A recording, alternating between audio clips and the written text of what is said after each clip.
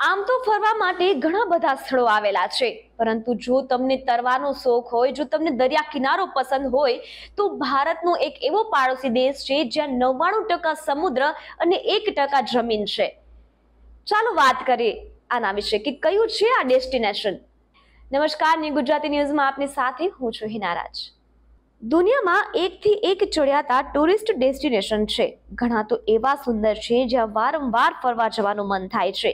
પણ શું તમને ખબર છે કે ભારતનો એક પાડોશી દેશ છે જે એટલો સુંદર છે કે ત્યાંની સુંદરતા તમારું મન મોહી લેશે?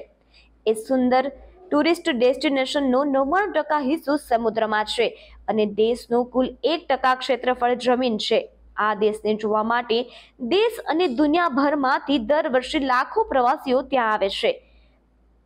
તો તમને જણાવી દઈએ કે આ દેશનું નામ માલદીવ છે. મોટી વાત તો એ છે કે એક સમયે ભારતે માલદીવને દુશ્મન દેશથી બચાવવા માટે સૈન્ય કાર્યવાહી પણ કરી હતી. ભારતની નજીક હોવા છતાં માલદીવ પર ચીનનો ઘણો પ્રભાવ છે. હિન્દ મહાસાગરના મહત્વના વિસ્તારમાં માલદીવ સ્થિત છે. તેને કારણે ચીનની હાજરી પણ ભારત માટે મોટું ખતરું બની શકે છે.